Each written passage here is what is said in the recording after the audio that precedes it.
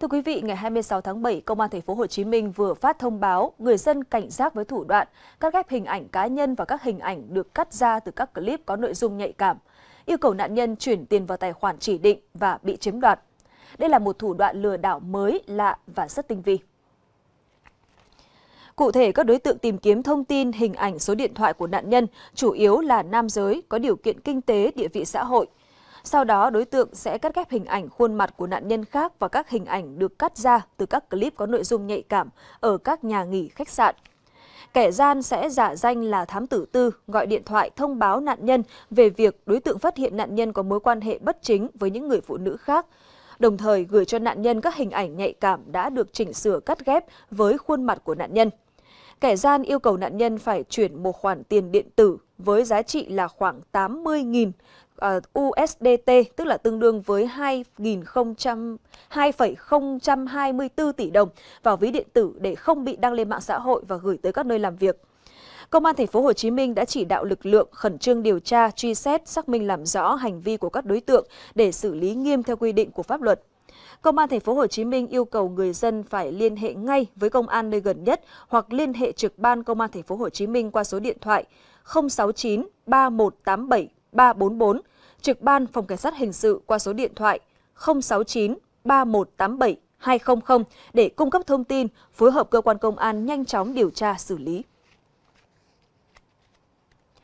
Giá vàng thế giới hôm nay 27 tháng 7 đảo chiều tăng mạnh nhờ lãi suất trái phiếu giảm xuống.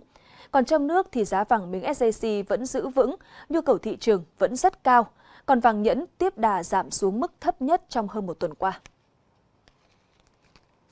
Cụ thể trong nước, giá vàng miếng SJC không có thông tin mới khi vẫn giữ vững mức đồng giá 77,5 và 79,5 triệu đồng một lượng. Và nhu cầu thị trường vẫn rất cao, trong khi các cửa hàng đều thông báo hết hàng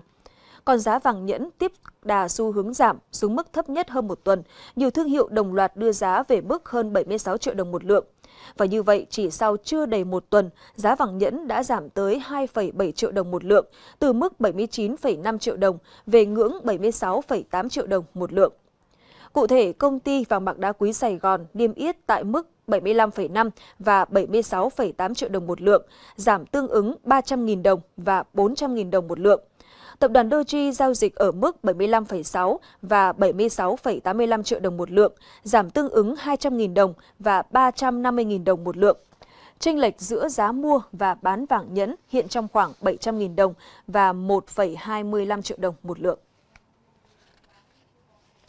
Với các bạn trẻ có máu cờ bạc, ham trò đỏ đen, có lẽ tài xỉu online là cái tên gọi không quá xa lạ tài xỉu online đã trở thành một thực trạng nhức nhối, lôi kéo không ít người tham gia vào những cuộc sát phạt với ảo mộng làm giàu không khó. Đặc biệt, cùng với sự phát triển của Internet, các sòng bài online cũng bùng nổ và ngang nhiên răng bẫy người chơi. Bằng hình thức đặt cược ăn tiền, game cờ bạc online nhanh chóng trở thành kênh làm giàu của nhiều bạn trẻ, bất chấp những cảnh báo của các cơ quan chức năng. Có thể nói tài xỉu online đang là một trong những game cá cược có khả năng tiếp cận người chơi cao nhất. Chỉ cần tìm kiếm một vài từ khóa trên Google, hàng loạt trang web cờ bạc như 68 game bài, FB68 ngay lập tức xuất hiện với những lời quảng cáo hấp dẫn. Thậm chí, để lôi kéo người chơi, trong các hội nhóm này liên tiếp đăng tải các đoạn video livestream để hướng dẫn cách chơi và tặng quà cho những người xem trực tiếp. Nguy hiểm hơn, các ứng dụng này còn được quảng cáo tràn lan trên khắp các diễn đàn mạng xã hội như Facebook, YouTube, kèm theo vô vàn lời mời chào hấp dẫn. Cả ngày ấy, chơi ấy, thì càng bị thua, mà thắng ấy, thì muốn chơi tiếp, mà thua thì cũng muốn gỡ. Cho nên là cứ thế là lại tiếp tục dồn tiền vào để mà chơi, để gỡ gạc những cái ván thua của mình. Sau dần rồi thì là hết tiền và cũng không còn đủ khả năng để mà chơi nữa. Thì lại quay sang nhờ bạn bè này, ờ, vợ con rồi là cả gia đình nữa giúp mình. Vậy mà rồi vẫn cứ thua. Những cái hành vi nào mà xảy ra trên lãnh thổ Việt Nam thì chúng ta có cơ chế để xử lý. Còn những cái đối tượng mà bên ngoài lãnh thổ thì về thực tế là cũng chưa bị xử lý và nó cũng nằm ngoài phạm vi trong trường hợp mà chúng ta phát hiện thì người ta có thể xem xét về vấn đề là đồng phạm thôi với mật độ xuất hiện càng nhiều, các tựa game hay các trang web mang tính cá cược có khả năng tiếp cận người chơi cao, đặc biệt là các thanh thiếu niên trong độ tuổi từ 15 đến 23, độ tuổi sử dụng mạng xã hội nhiều nhất. Từ đây, bắt đầu mang đến những bi kịch cho con bạc vị thành niên, dễ gây nghiện, gặp các vấn đề về tâm lý, dẫn đến các hành vi phạm tội,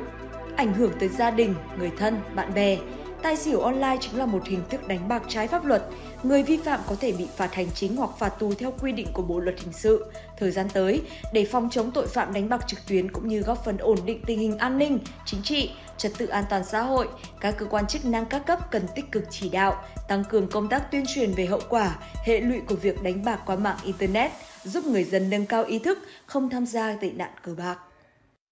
Phó Thủ tướng Trần Hồng Hà vừa chỉ đạo Bộ Công Thương nghiên cứu phương án nâng tỷ lệ mua điện mặt trời mái nhà dư phát lên lưới điện quốc gia là 20% công suất lắp đặt ở miền Bắc, 10% đối với khu vực miền Trung và miền Nam. Phó Thủ tướng Trần Hồng Hà nhấn mạnh việc huy động điện mặt trời mái nhà tự sản tự tiêu lên lưới điện quốc gia cần căn cứ vào yêu cầu của đất nước, thực tiễn phát triển nguồn điện, đặc thù của từng vùng miền. Theo đó, cơ quan soạn thảo phải nghiên cứu phương án nâng tỷ lệ mua điện dư phát lên lưới điện quốc gia là 20% công suất lắp đặt ở miền Bắc, 10% đối với khu vực miền Trung và miền Nam.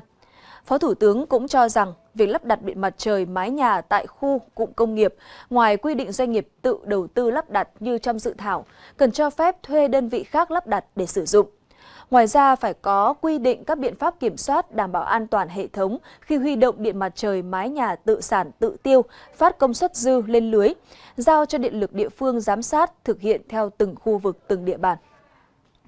Nhu cầu thuê chỗ ở của công nhân người lao động tại Đà Nẵng rất lớn, thế nhưng tại nhiều dự án nhà ở xã hội đang bỏ không hàng nghìn căn hộ không có người thuê bởi thủ tục. Nghịch lý này đang cần kịp thời tháo gỡ, tránh lãng phí nguồn lực cũng như đáp ứng nhu cầu thuê nhà của người lao động. Đến hết năm 2023, Đà Nẵng đã hoàn thành hơn 15,5 nghìn căn chung cư và hơn 1.100 phòng ký túc xá sinh viên. Dù vậy, nhu cầu thuê chung cư, nhà ở xã hội vẫn rất lớn và nhiều người dù muốn thuê nhưng lại khó tiếp cận. Tổ công nhân tự quản phường Hòa Thọ Tây rất mong muốn được vào khu nhà ở công nhân, khu công nghiệp. Tuy nhiên, điều kiện vào ở rất khó khăn nên chúng tôi không thể vào ở một thực tế đang diễn ra tại nhiều dự án nhà ở thương mại. Căn nhà ở xã hội ở Đà Nẵng là khó cho thuê do giá cao. Tại khu chung cư Bầu Tràm Lakeside, số lượng căn nhà ở xã hội cho thuê là gần 290 căn. Sau 7 lần mở cho thuê, hiện chỉ còn 15 trường hợp thuê. Thứ nhất là người ta phải à, đóng tiền hàng thuê, đóng tiền hàng tháng, mà là chủ đầu tư thì chỉ là đầu tư ghi là đầu tư cái căn hộ thì là đầu tư à, với lại à, những cái Ờ, thiết bị là sẵn có thôi còn người dân là về là phải đầu tư hết thiết bị là một lần nữa để để, để về có thể sinh hoạt được thì do đó thì người dân mà phải đóng tiền với mức giá mà theo sở dựng duyệt là 70.000 mét vuông thì nhân lên với lại diện tích thì nó sẽ quá khả năng của người ta.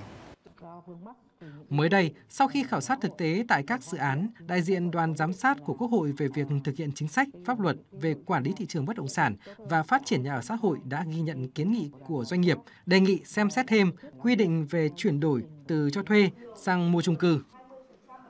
Quy định chuyển tiếp tại điều 197 của luật nhà ở à, liên quan đến chủ đầu tư dự án nhà ở xã hội đã dành 20% nhà ở xã hội à, trong dự án để thuê mà chưa cho thuê được ấy thì thì, thì được à, phép bán và cho thuê mua theo quy định của luật nhà ở mới. À, thì à, doanh nghiệp cũng cũng cần đề nghị là cần rõ cái cái cái thủ tục này à, sẽ mở bán công khai hoặc là à, thu thông báo công khai mấy lần thì sau đó thì mới được để thuê. Mà không làm được thì mới được bán thì cũng cần phải cụ thể để doanh nghiệp thực hiện. Đà Nẵng đã hoàn thành 9 quy hoạch phân khu trong đó bố trí quỹ đất độc lập để xây dựng nhà ở xã hội, ra soát 75 dự án nhà ở thương mại liên quan đến việc dành 20% cho nhà ở xã hội. Đoàn giám sát của Quốc hội đã đề nghị Đà Nẵng cần sớm tháo gỡ các vướng mắc để người dân được vào ở các căn hộ phù hợp, tránh lãng phí nguồn lực.